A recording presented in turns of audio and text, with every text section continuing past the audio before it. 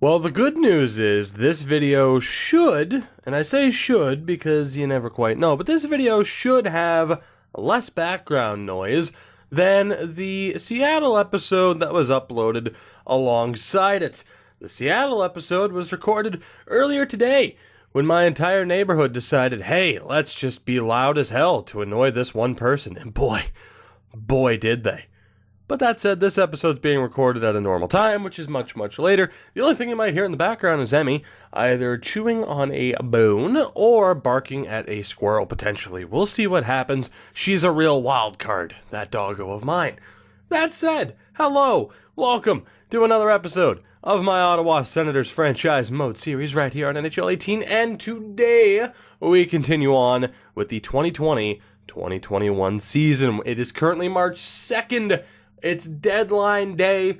And the question is are we going to make any moves? Is it the right time to make a few moves? We're five points back of Tampa. They have two games at hand, but we are right there in the middle of one hell of a playoff race. And really, when you look at the team, here's the thing we're in a much better position than we ever really imagined we would be in terms of the curveball known as acquiring Henrik Borgstrom, the curveball known as acquiring Barzal.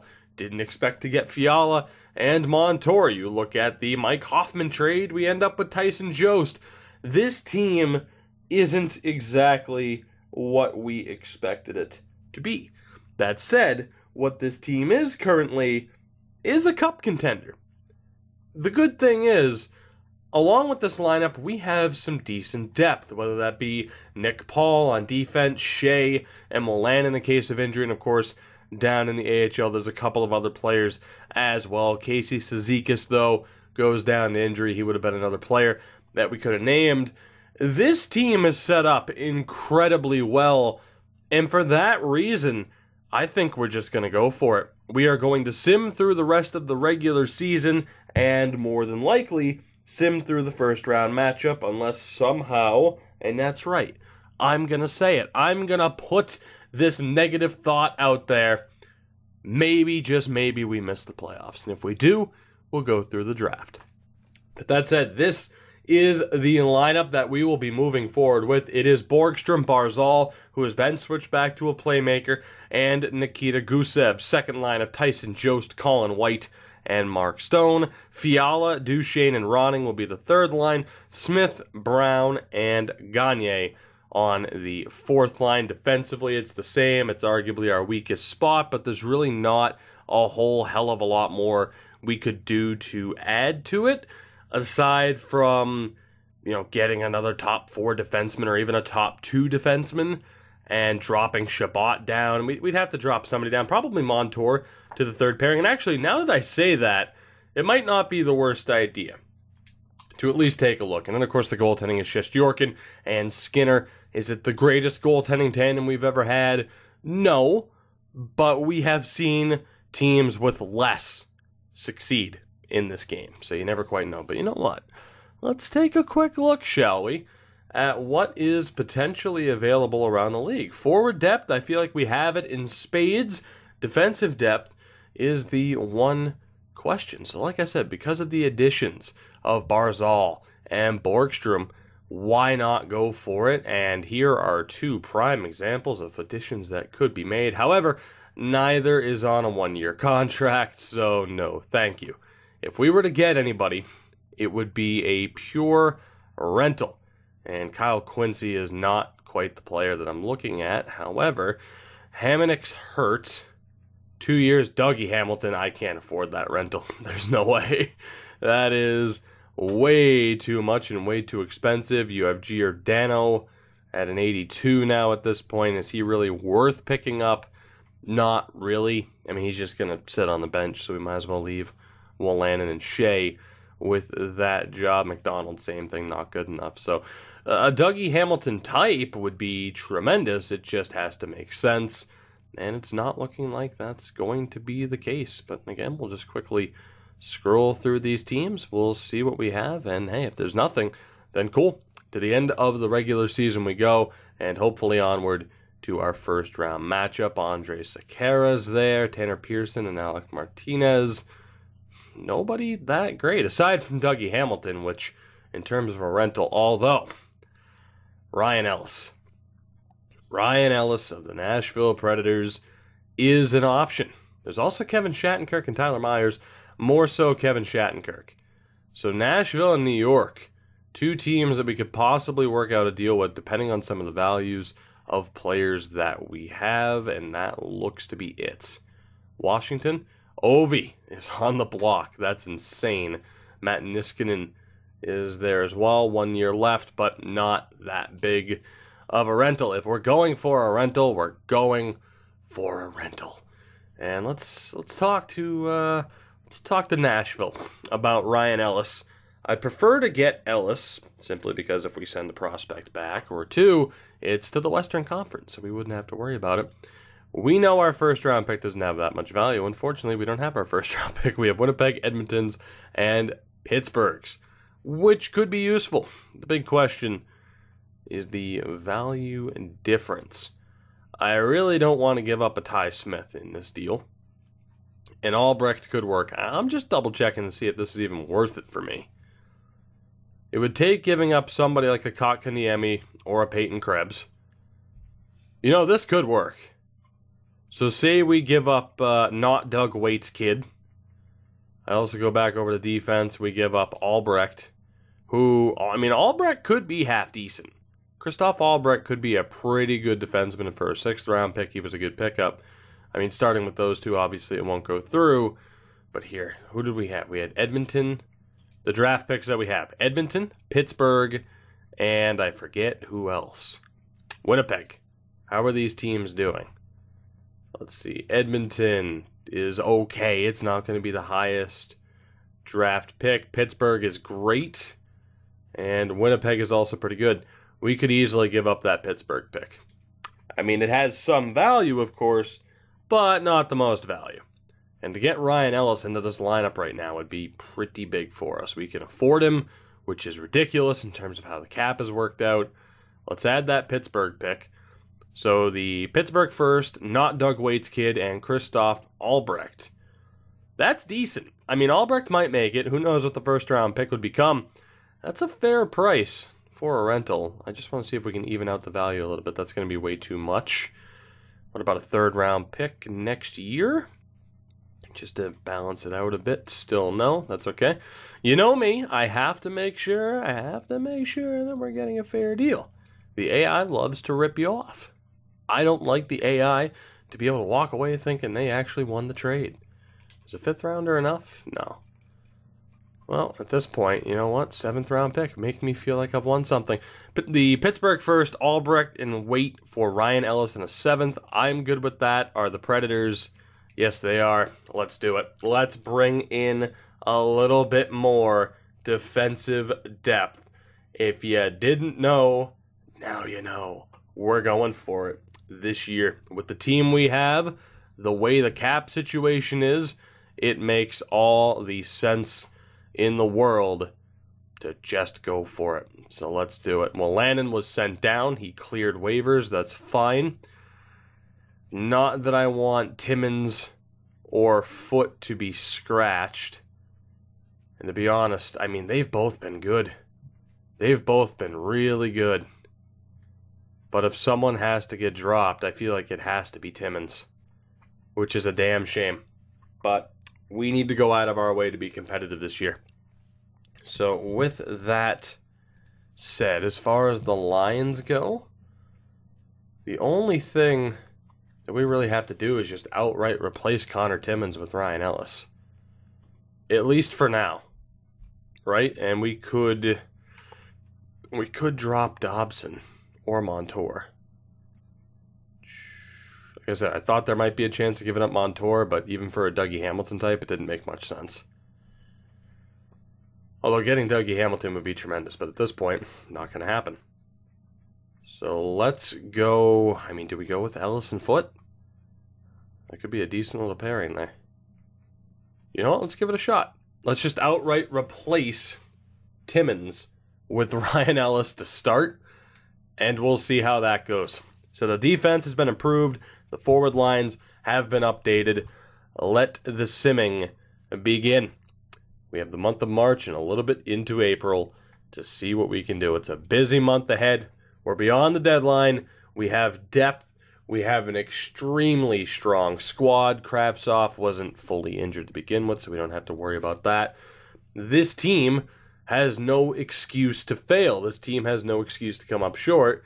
That said, crazier things have happened. Better teams have fallen short. So I am a little bit anxious to see what's going to happen as we can take out Seth Griffith for Casey Cizikas, just to get him back in the lineup and to keep him warmed up and ready to go in case we need him due to injury. I mean, Nick Paul is the first guy that gets into the lineup, but worst comes to worst, we do have Cizikas. So, overall, a decent start to the month. Losses to Dallas and Florida, but we're looking okay now at 42 wins on the year. Let's go ahead and sim another week or so, eight days to be exact. The big Western road trip wins over Anaheim and Edmonton. We lose to Nashville 4 to 1, and that's followed up with a loss to Carolina. So we still have a winning record on the month, but we need to finish strong here. We have five games in April before the regular season ends, four games here. We're at home against New Jersey. Before we hit the road, it's Detroit and Toronto, and then we play Columbus at home we need to win the majority of these as Matt Duchene goes down to a shoulder injury and he is out until April 1st. Not ideal. But you know what? I'm going to just leave Nick Paul in on the third line. If I were to edit lines, I'd simply call up Logan Brown, but we should be okay. We've won two games. Can we at least make it three? Duchene is back. Paul can somewhat play center as well, so it made sense to allow him into the lineup.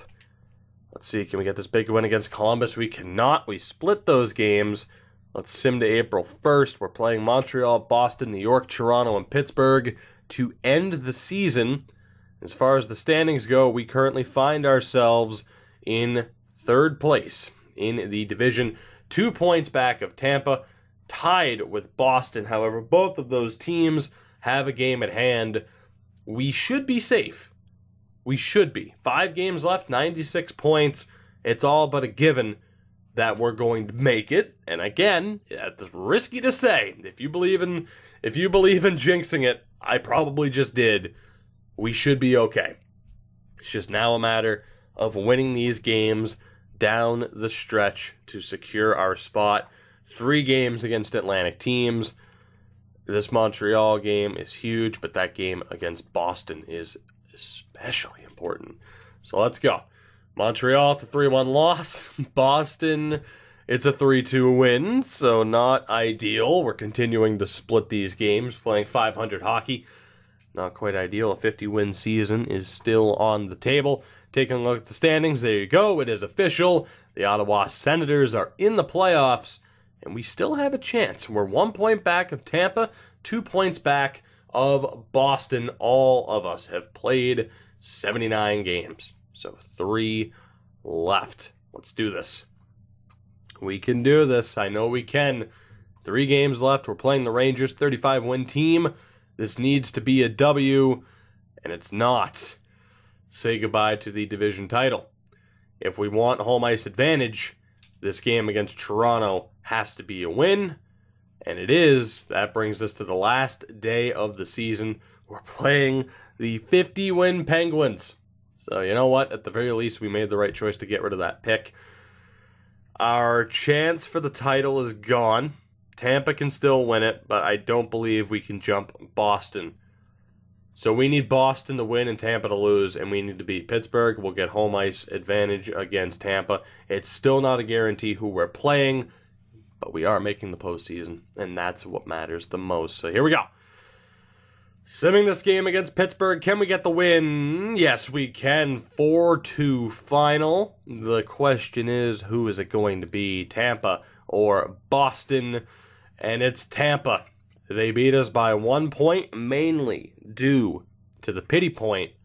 We will be playing the Tampa Bay Lightning in the first round. The Bruins win the division let's take a look at the season that was before getting into this first round matchup. We are simming this first round matchup against Tampa right here and right now. Borgstrom led this team in points, 27 goals, 47 assists, a new career high for him. What a season. What an acquisition he proved to be. Mat Barzal, 39 points in 58 games is okay.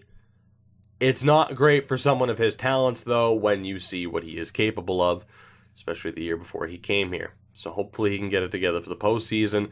Nikita Gusev, 42 goals, 25 assists, a new career high with 67 points.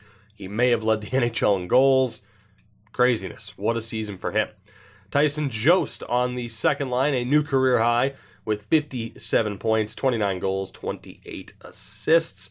Colin White, the center of that line from the deadline onward, 23 goals, 26 assists, 49 points, 23 goals a career high, 49 points a career high. A great season for Colin White. Mark Stone had a really good season. Not a career high, but 55 points, 21 goals. I'm okay with that for someone who isn't expected to be that point of game guy. Yes, he's a top line guy. Uh, the attribute wise, he should be capable of it, but I, I don't expect that from him with him being so defensively oriented. 50 points or more, that's good for Mark Stone. Kevin Fiala on the third line, somewhat recovered from a slow start to the season. 41 points in 82 games, not ideal. Only 8 goals compared to the 18 last year. Not sure what's up with that. More than likely, it will be his final season here. Matt Duchene, 9 goals, 25 assists. Same thing. Will it be his final season here? 34 points total in 63 games played. May have broken 40 had he not missed time due to injury. Ty Ronning had a tremendous season. 48 points, a new career high. Of course, he played his rookie season last year. In his sophomore year, he only got better. Those numbers, considering he's a bottom six guy, very impressive. Zach Smith, nine goals and 19 assists, 28 points. So a great season for Smith. Logan Brown, though, the future that he has here in Ottawa, for me, is looking bleak. 18 points. He's just not a massive point getter. As long as he's listed as a third line guy, I suppose it's worth keeping him just because he is a well rounded player. But he's never going to be that big point guy for us. That brings us to Gabriel Gagne, 21 points.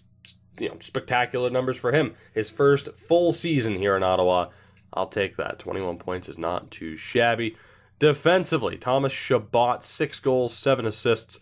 Obviously, we're not expecting much offensive production from these players. He was a plus five, but of course, the numbers were down. The plus minus is perhaps the most important thing. Erik Karlsson with 64 points this season, a nice return to form for him. He was also a plus six. Brings us over to Noah Dobson, a plus nine with 10 points on the year in his rookie season. We also have Brandon Montour, nine points and a plus one this year. Cal Foote, five points, four goals, only one assist all year. That's so unlikely. But a plus 18 on the year in his rookie season. And of course, we brought over Ryan Ellis, seven goals, nine assists, a minus one. So it might be worth changing things up a little bit. It might be. I have to wonder how would a youth line of Dobson and Foote do? Can't help but wonder. And maybe just put the more the veteran line of Montour and Ellis together. I have a feeling that would do very well. Didn't mean to hit start there, but that's okay. Let's go take a look at the goaltending. Shesterkin finishes the season with 77 games played, so the auto rotate didn't kick in all that much.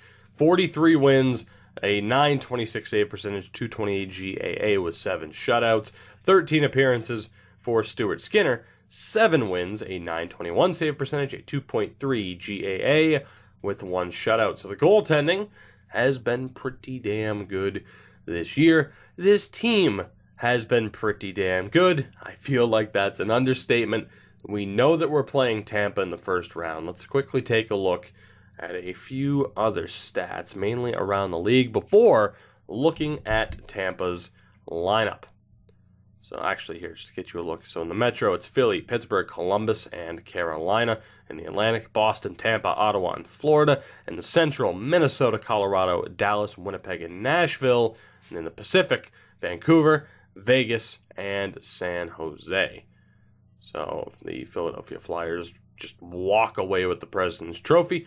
In terms of goals or goals for per game, we were third in the league at a 2.87 goals against at a 2.43, just outside the bottom 10 in the league. Our power play percentage was at a fairly strong 20.7%, tied for fourth place in the NHL as the dog goes on the move, which means you know what it's time for a jump cut. All right, we're back. We're good. Let's continue onward. Got to get back into my train of thought. The penalty kill at an 82. 0.9%. Not terrible, but not tremendous either. And that is that. We walk into the postseason on actually what was our record in our last 10? 5 and 5. Not ideal. Not the type of stretch that you want to walk into the playoffs with, but I suppose it could have been worse. It, I mean, hell, we could have missed the postseason. Quickly want to take a look at the AHL scoring. Kravtsov was a monster. 84 points in 82 games. He and Gersich indeed tore the league to shreds, to shreds you say, as I thought they might have. Let's take a look here around the league. Taylor Hall led the league in points with 86. So that was it. That's all it took to lead the NHL in points this year. 86 points for Hall. The goal scoring king, though, was Nikita Gusev, one of two players to break 40 goals. He and Patrik Laine. Nikita Gusev, when is the last time I had a player in one of my series lead the NHL in goals. It just doesn't happen. so that's a nice change of pace. Jamie Benn with the best plus minus, Juulsen with the worst. Here he comes, Mr. Dotchin. I knew it. Of course. Of course it was. Every series, Jake Dotchin, the ultimate goon. So take a look. Time on ice. The NHL's Iron Man, Oscar Klefbom. Try to get a look at who's won the Selke. Face-offs go to Toews, just so you get a look at what Pedersen's become. The hits belong to Noah Hanifin. The blocks to Murray. Giveaways, Nick Hague, and takeaways, MacKinnon. Hmm, I'm actually intrigued to see who wins the Selke. Part of me thinks it could be Pedersen. He was up there for faceoffs and takeaways. I'll be intrigued to see who wins the Selke this year, and of course, Jake Dotchin led the way in fights. Are we going to have anyone that wants to drop the gloves Jake Dotchin? Is Jake Dotchin going to be in Tampa's lineup? That is a very good question you just asked. Well, let's find out, shall we? Let's take a look at what we're up against in the first round, shall we? This is the team, and of course, the good thing is we'll be able to see the regular season stats. So we have the top line of Andre Palat, 17 goals, 39 assists, centered by Steven Stamkos, 26 and 43 for the now 31 year old centerman. And Nikita Kucherov, 28 goals, 45 helpers, and 93 overall. That top line is still exactly what you would expect them to be. Second line, Alex Killorn had an okay season 15 goals, 24 assists. Brayden Point, 14 goals, 25 assists, a little bit lower than what you'd expect for him as you get a look at his attributes. And Tyler Johnson, 14 and 28. So not a bad effort from the second line. Third line, Adam Erne with 24 points. Anthony Cirelli did very well. So a great season there for Cirelli. And Taylor Raddysh, 13 goals, 11 helpers. The fourth line, we have Brock McGinn, 9 and 15, a plus 15 on the year. Mikko Koivu.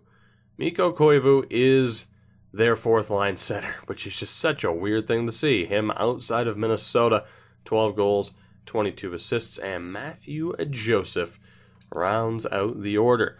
On defense, oh boy. Top pairing of Victor Hedman and Ryan McDonagh. So they kept Ryan McDonagh there. It's the last year of his deal. Second pairing, though, it gets to be a little bit weaker. We have Slater Koekkoek with Anton Stralman down to an 81 overall, so he is regressing fairly quickly. And Erik Cernak will be with Jake Dotchin. So indeed, Dotchin is in the lineup. The goaltender is Andre Vasilevskiy. 929 save percentage in 64 appearances. Cam Ward, the backup, put up Cam Ward numbers.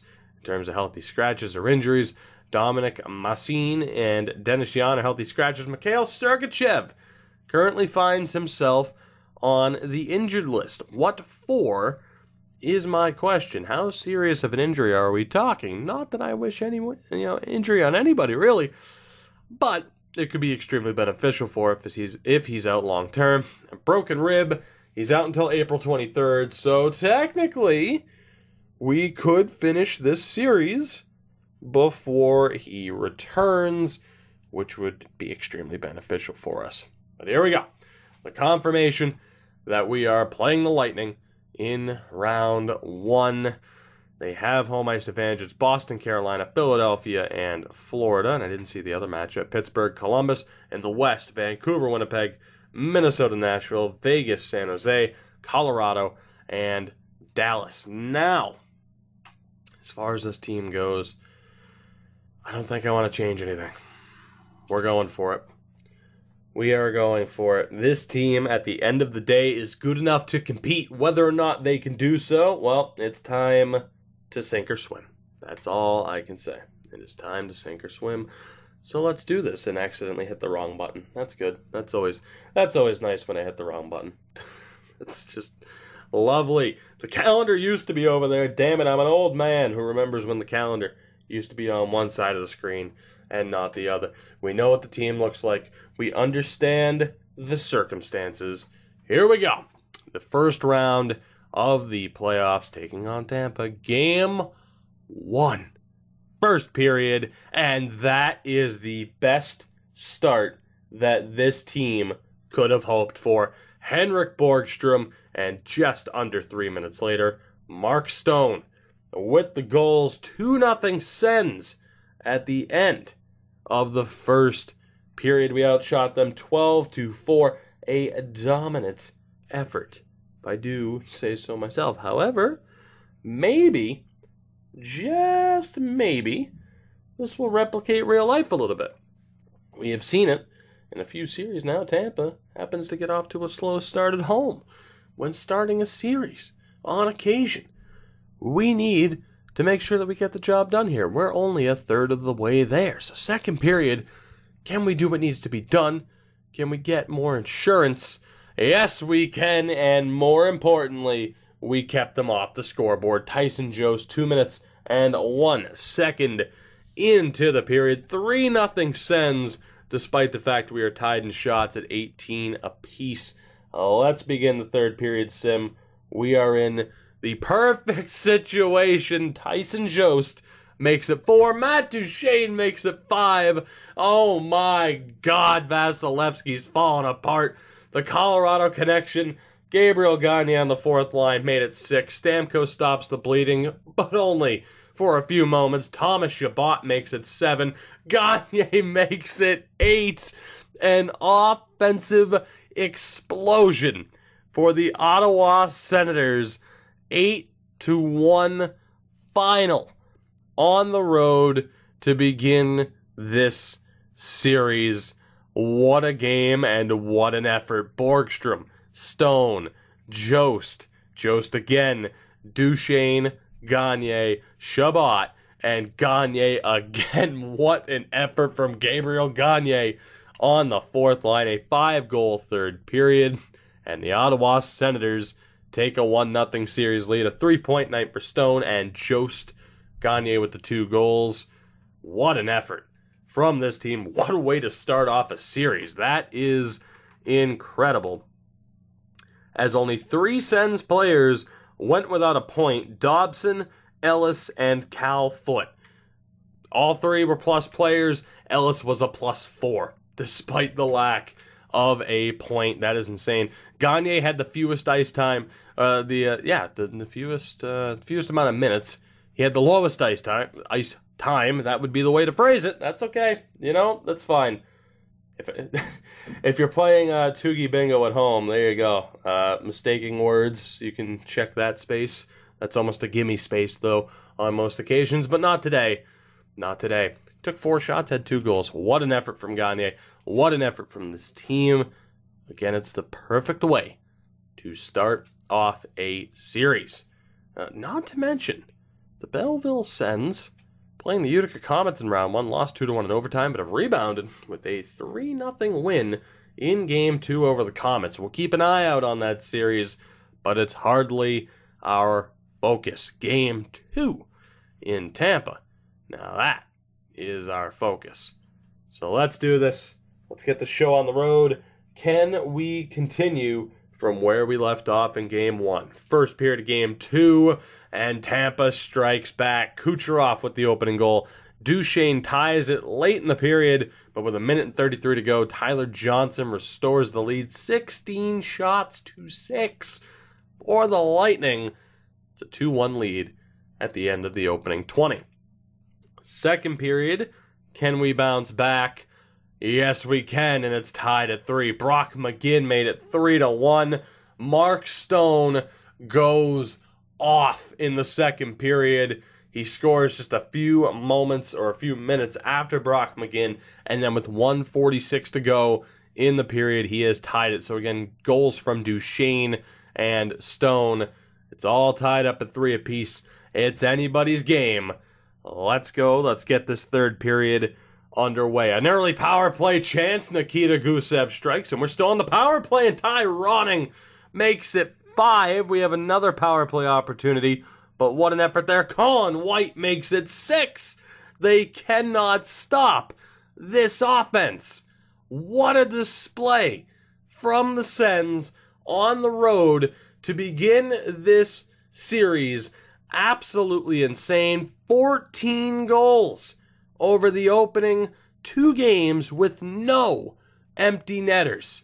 What an effort. Down 2 to 1 at the end of the first. Duchene with the goal. Second period, Stone leads the way with two goals to tie it at three.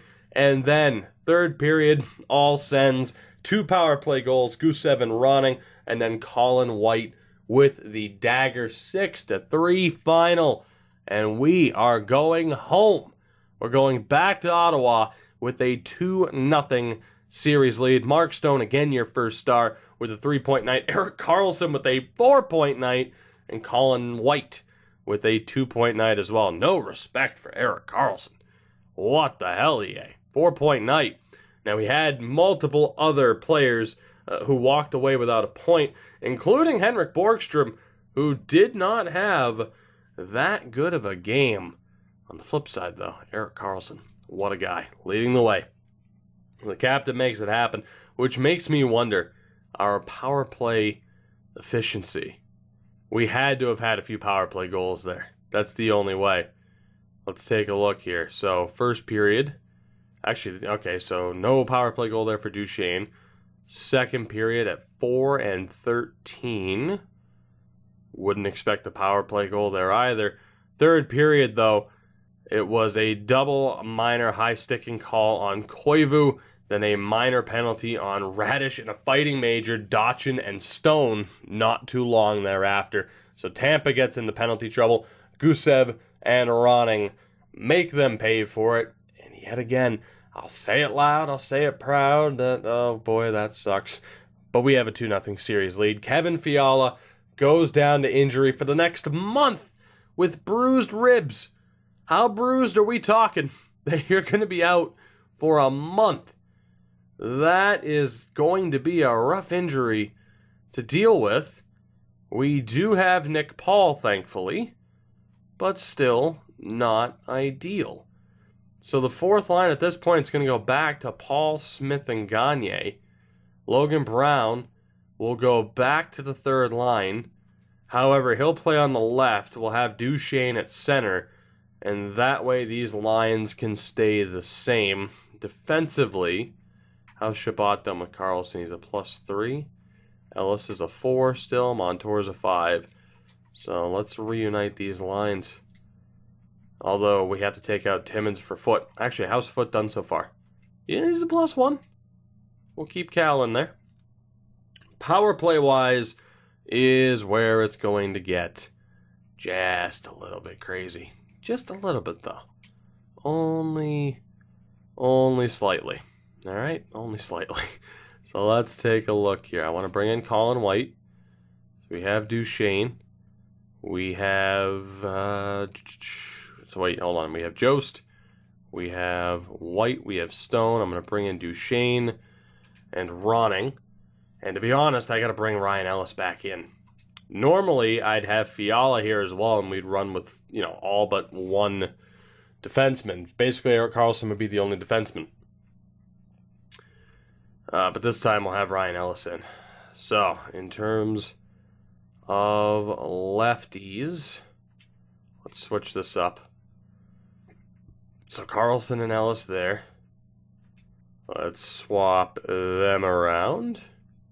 Do I have, how many lefties do I have? I don't have that many, huh? We are going to need an extra righty. That's okay. Uh, let's go, hmm. Let's go with Stone there.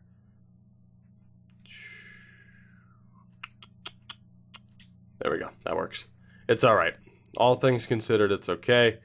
Duchene there on the power play. I got to be honest, I'm going to take him out. I'm going to put Gusev on the top line. I do want to put effort into this because of how important our uh, power play has been, and that penalty kill is okay. It's not bad. So let's do this. No Kevin Fiala moving forward. I had a feeling it would be the right decision to stick with a little bit of depth, although Matej Tomek is out for a month. The Belleville Sens did win game three over Utica 1 0. It was a 1 0 shutout, back to back shutouts for that team but they have lost their starting goaltender. This series now depends, I mean, the rest of this playoff run really depends on Ian Scott to be able to get them to next month to the point where Tomek could return. However, as I've mentioned, that's not our focus. Game three, let's get this underway. We are on home ice in Ottawa. Can we take a commanding 3 0 series lead? Let's find out. First period is scoreless for the first time in this series, 10 shots to 9 in their favor. Second period is not scoreless by any stretch of the imagination. Matt Duchene, Zach Smith, and Nikita Gusev. Three goals in under six minutes. Ondrej Palat gets one back with 119 to go in the period but it's 3 to 1 on the board, 26 shots to 19 in our favor, and we are 20 minutes away from indeed having that commanding series lead. Let's go. The depth scoring has been there to make up for the fact that, you know, someone like Barzal, oh my God, Zach Smith strikes again. We're not reliant on the Barzals and the Borgstroms, whether it's Gagne, Zach Smith, or whoever else the bottom six and the fourth line in particular are capable of putting up points. There's your proof. 4 1 final in game three, 40 shots to 28. It's a 3 0 lead for your Ottawa Senators. Erik Karlsson with another four assist night, two goals for Zach Smith, and the 27 save performance for Igor Shesterkin. Unbelievable stuff. 4 1 final, 3 0 series lead in the books. We have four opportunities to get this done. And speaking of getting it done, the Belleville Sens drop game one in overtime, but win three straight over the Utica Comets. They are moving on to round two. We'll continue to follow their journey, but of course, it takes a backseat to the main story, the big story here, in which it's time to find out what happens next. No changes are necessary.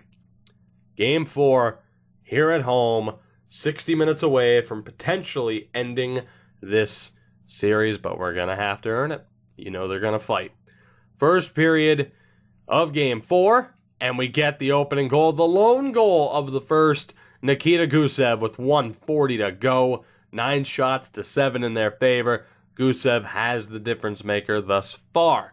Second period, Hedman ties it, but it's a late surge from Ty Ronning and Colin White. It's a 3 1 lead for the Sens as we head into the third period. Let's go. Let's do this. 18 minutes away from moving on to the next round. Can we get the job done? Colin White with his second of the game. We're seven minutes away. Dust off the brooms. You got some sweeping to do. The Ottawa Senators have swept the Tampa Bay Lightning in round one. I'm not going to call it a miracle. I'm not going to call it an upset, but it's certainly shocking. The two goal effort from White, good enough for the first star. 26 save performance from Shesterkin. Ty Ronning with a goal as well. 4 1 final on the board. 4 nothing. This series is done. It's over. It's over. The Tampa Bay Lightning, oh my Christ, have been deleted at the hands of Erik Karlsson and the Ottawa Senators. That may just be the most ridiculous scoreline I have ever seen in a four game series. 12 points in four games, all assists. Erik freaking Karlsson, ladies and gentlemen. That is unbelievable. Borgstrom, only two points. Barzal, three points, no goals. Gusev, four points, three goals. I'm okay with that. Like I said, the top line outside of Gusev is a little bit quiet, but from there, Jost, seven points for Tyson Jost, five points for Colin White, seven points for Mark Stone. That second line is so dangerous, so deadly, and I love it. The third line, Logan Brown, only one assist, but he's a plus five. Five points from Matt Duchene and four points for Ty Ronning. Nothing point wise from Paul, but he's a plus two. Three points from Zach Smith. Three points from Gagne. So again, the secondary scoring has been there. Defensively, Thomas Chabot, two points and a plus seven. Erik fricking Karlsson, 12 assists, a plus eight. Two points from Montour, a single point, the lone assist from Ryan Ellis, nothing from Foote, one assist from Dobson. It doesn't matter. Erik Karlsson and Igor Shesterkin, along with the secondary scoring of this team, carried the weight. A 1.5 GAA, a 944 save percentage, 103 saves in those four games.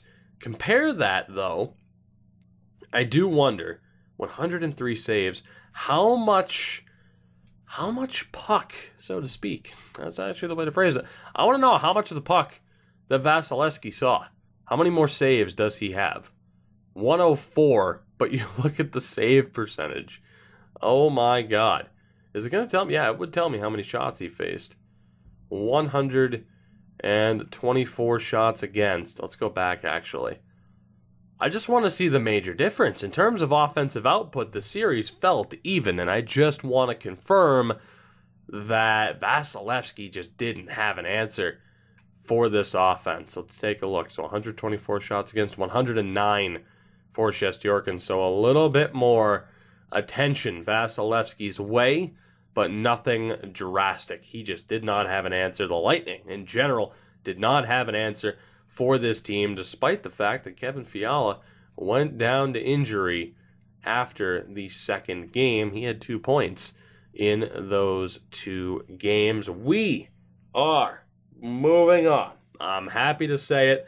We made the right call. We went out, we got Ryan Ellis, and just all in all, this team is looking tremendous. Both teams are moving on to the second round. The only thing that's left to do for this episode is to find out who's it going to be for both the Belleville and Ottawa Sens. Belleville knows their matchup. They are taking on the Binghamton Devils in the next round. A very interesting matchup with some history there. And we're actually going to be able to go through game one. Can they get the win? 3 1 Sens the 3 2 Devils, and it's a 5 2 loss in game one. Certainly not ideal. We'll be able to sim through game two as well. Can we get the win? No, we cannot. It's an overtime loss. So the Belleville Sens have some work to do. the Ottawa Sens do as well as we'll be taking on the Carolina Hurricanes. In the second round, we have home ice advantage. The Hurricanes pull off an upset. And that is who we'll be facing in the next round. They beat the Bruins in five. So Tampa and Boston are out. We have the Ottawa Carolina matchup, Philly and Pittsburgh, because of course, and then over in the West, it's Minnesota, Dallas, Vegas, and Winnipeg. Some very interesting matchups outside of maybe, you know, maybe Ottawa and Carolina, aside from the fact that, hey, we don't have to take on Boston, but just how dangerous is the Carolina Hurricanes team at this point in time? How concerned should we be? Well, fortunately, we're not going to find out until next episode. We'll take a look at their lineup then. We'll sim through that series, and hopefully, our run of luck continues. I always feel a little bit paranoid about stopping a run when we're doing this well. But you gotta do what you gotta do. For the sake of the dramatics, you gotta stop this episode now. And mainly because I gotta go to bed. So I thank you guys for watching. As always, I do appreciate your support as, of course, as I've mentioned lately, we're on the march to 10k subs. We're on the march to 10k subs throughout the course of this summer. That is the goal. You've helped me get this far. Help me make that extra step. Let's do it. Let's hit 10K before September. That's the goal. The three years on YouTube, we need to hit that 10K mark. And with the ser- uh, with the support you've shown in this series, Nations United, the Seattle series, things are looking pretty damn good. So I thank you guys for watching it again. You know what you can do to support the video and the channel beyond, of course, just watching. Subscribe, the notification bell, leave a like, all that fun stuff all that fun stuff. Links are in my uh, links are in the description to my Twitter and Twitch. Self promotion, self promotion, self promotion. I love you all, and I'll see you next time.